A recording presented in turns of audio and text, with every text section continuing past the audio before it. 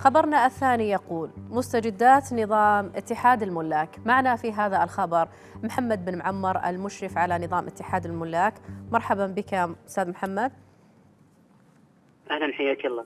أستاذ محمد نود أن نأخذ منك تفاصيل أوسع حول هذا الخبر. تفضل. طيب بسم الله الحمد لله والصلاة والسلام على رسول الله.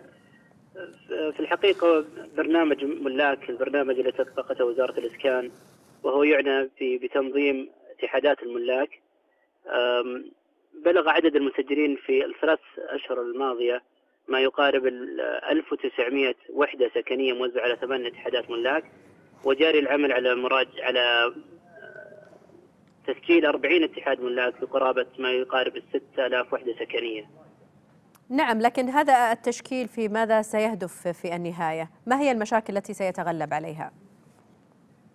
برنامج اتحاد الملاك يهدف إلى خلق بيئة آمنة ومنظمة ومستدامة للتعايش السكني المشترك.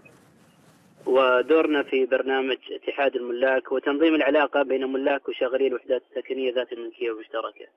من خلال أننا نضع الأنظمة وكذلك نفعل آليات الرقابة ونعزز ثقافة التعايش السكني المشترك. ونصبو إلى ثلاث أهداف رئيسية. نعم. آه ضمان حفظ الحقوق وضمان كذلك حسن الانتفاع من العقار وبرضو الهدف الأسمى اللي هو تعزيز ثقافة التعايش السكني المشترك نعم لكن ما هي أبرز الإشكاليات التي تم الوقوف عليها في هذا المجال أستاذ محمد؟ أي مجال تحديدا؟ اتحاد يعني من ناحية المسجلين في النظام يعني الفترة الزمنية التي تم فيها إتاحة التسجيل في هذا النظام لم يكن الإقبال مثلا عالي، أبرز القضايا هي هل هي كانت الصرف مثلا على الصيانة في تلك الأملاك أم ماذا؟ من من ناحية التسجيل طبعا اتحادات الملاك هي قبل أن تنتقل إلى وزارة الإسكان بلغ عدد اتحادات الملاك المسجلة تقريبا 16 اتحاد فقط خلال 16 سنة الماضية.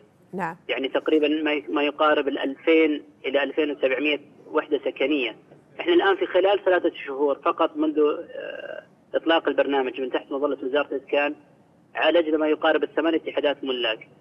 فالتحديات طبعا بالنسبة لنا الطلب على إنشاء اتحادات عالي لكن بإذن الله تعالى الاستعداد على قدم وساق من وزارة الإسكان لاستقبال جميع الطلبات في هذا الشأن. نعم الأستاذ محمد بن معمر المشرف على نظام اتحاد الملاك شكرا جزيلا على مداخلتك.